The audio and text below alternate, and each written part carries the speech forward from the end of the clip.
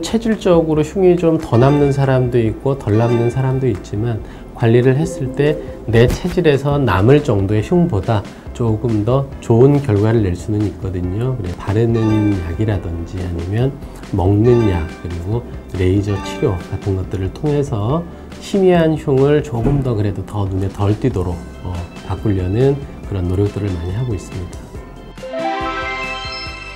가장 좋지 않은 거는 상처가 아직 완전히 아물지도 않았는데 흉터 연고를 막 바르거나 아니면 레이저 치료를 받았을 때는 오히려 더 역효과가 날 수 있거든요. 아무리 빨라도 2주 아니면 한 달 정도 지난 시점에 흉이 완전히 안정이 된 후에 그런 보조적인 치료 방법을 어, 병행하는 게 가장 좋은 선택이라고 생각됩니다.